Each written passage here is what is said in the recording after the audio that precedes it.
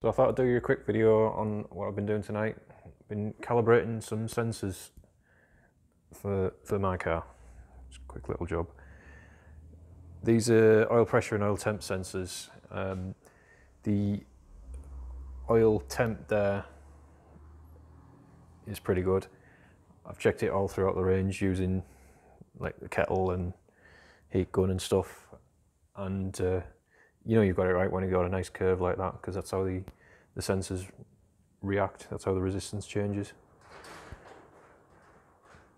You don't always need to do this, but this particular sensor was, there was no calibration file in the software that matched up to it anywhere near, so I decided to do it right. And being oil temp, I want it absolutely spot on as well. I want to know if that's too hot.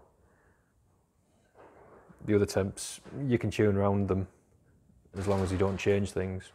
Better if they're right, and they are right, but if the oil temp's wrong and you don't know it, it could cost you an engine. Tape a thermocouple with some foil tape to the actual sensor that I'm going to use while it's plugged into the car live. I've checked it with my uh, infrared thermometer and another temperature probe just to make sure I'm getting good readings. I made a nice loom for the sensors, all plugs in, plugs where you need them so I can unplug the engine and unplug the ECU and everything when I need to. It's all, uh, all crimped, no solders, all waterproof connections and twisted strain relief ends, proper motorsport spec and automotive grade cable as well. For the pressure sensor I made, made a little adapter or modified an airline fitting with a 1/8 PT thread to go onto my tyre gauge, which is supposedly calibrated pretty well. And uh, it seems to be pretty accurate.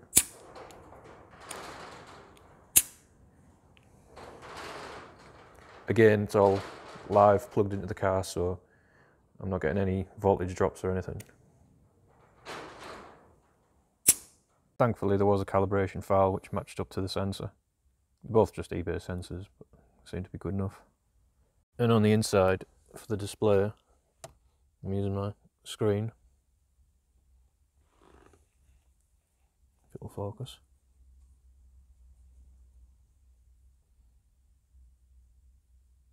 I think oil's further down.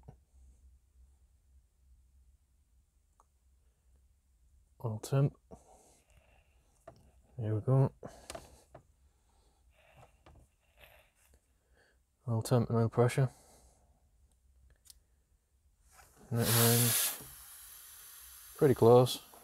Difference is probably in this gauge rather than the sensor. But either way, I'm happy with that.